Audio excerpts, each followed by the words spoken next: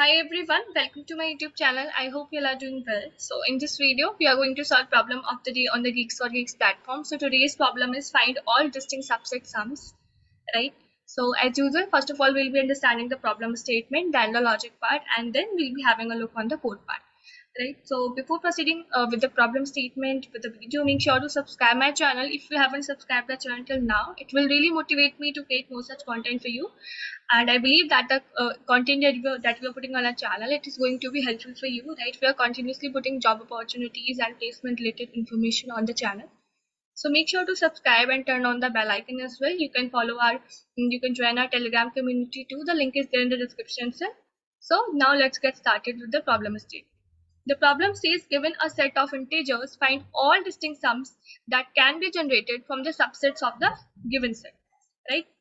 So that's what we have to do. We are having a set of integers and we have to generate all distinct, right? So sums should not be duplicate. That's what the thing is. Now, if they have mentioned distinct, so can you think like what we can use here to make sure that whatever sums we are getting, they should be distinct. We can use set, right?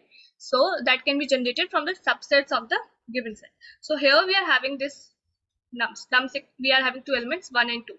So with these two, how many uh, number of uh, like number of sums is possible, right? How many number of distinct sums that can be generated from one and two, right? So the first thing is like if we are not choosing, see, it's it's more of a selection based problem. Like either you will choose an element or not.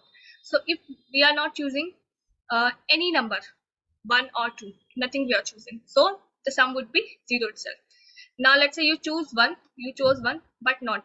So um the sum would be one.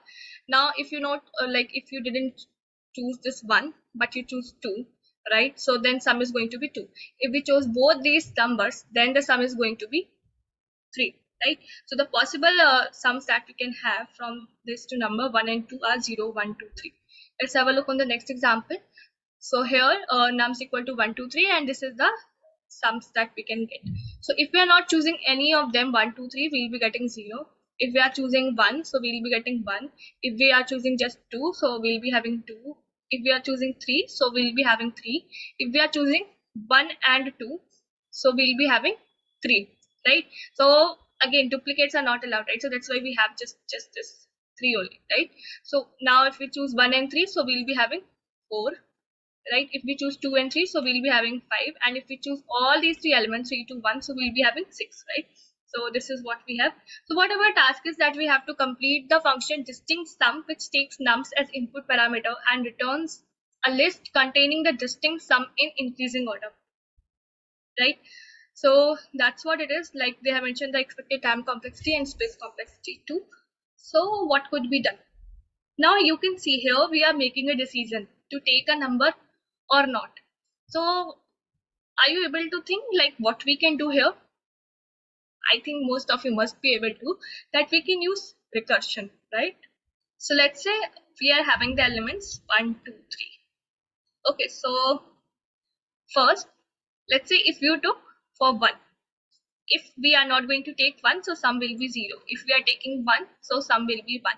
Now for two if you are not taking 2, sum will be 0. If you are taking 2, sum will be 2. 0 plus 2, 2. Right? Now here if you will see, so again here also we have to take decision for 2. So if you are not taking 2, sum will be 1. If we are taking 2, sum will be 3. For 3. Now if we are taking 3 or not. So if we are not taking 3, sum will be 0. If we are taking 3, sum will be 3. Here also if you are not taking 3 sum will be 2 if we are taking 3 sum will be 5 here if you are now here also we have to make the decision right?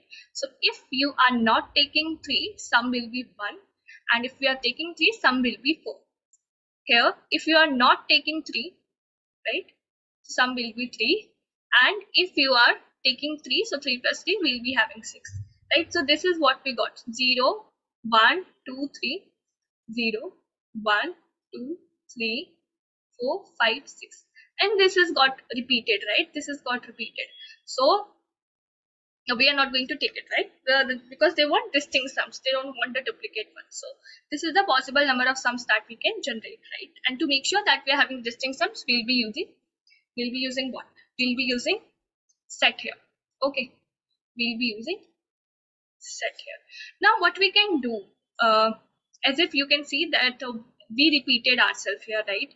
We repeated ourselves that for a particular sum if we have already calculated right? So here if you will see 0 1 2 so here from this pair of 1 2 we can generate 3 right? And if we are not taking 1 not taking 2 just taking 3 then also what we can do? We can get 3 right? So what we can make sure that for a given instance right? For a given instance for a given index if that sum we already got or not.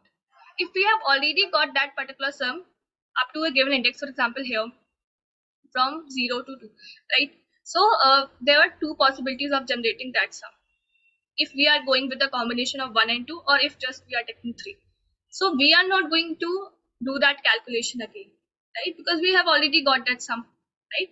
So we'll be taking care of that because if you will go with the recursion part right so of course you are going to get TLE right? So we'll be uh, we'll be doing what? Memoization here. So whatever for a given index for a given index and for a given sum if we have already uh, calculated right if we have already gone through that particular value if, uh, if we have already calculated that sum then we are not going to do it again. So how we can make sure how we can um, memorize this part by keeping that uh, what you can do. Is like you can put a flag or something like this or basically as if in dp we do or we do right? We can take an array uh, a 2d array of dp and we can mark that if right if we have already calculated the dp of i sum right? And uh, if we have already calculated the value so for a given index and for a given sum we can mark it as 1 0 or like any value that you want right? Basically 1 2 or something. Because by default uh, they all these values for uh, this dp array will be initialized with 0 in java right? So that's how it is. So hope you must have got the idea right? Like how we are going to approach this problem. Otherwise it's a basic simple uh, problem only based on recursion. But just the thing is that you have to involve memoization here so that uh, we are not repeating ourselves and we are able to optimize our code as well. So that's what it is. Now let's have a look on the code part. So here you can see this is the function given to us. Now here we have taken this dp array, uh, right? So, uh, so basically, and like if you will go to the constant, so there were the possibility. So here, uh, this many number of elements that we can have, and see the row is going to be the number of elements, and the column is going to be the sum. So that's what we can have the maximum value for uh, number of elements and sum as per the constant. So that's why I have taken this value. Now we have this set to keep track, like to make sure that we are having distinct sum only.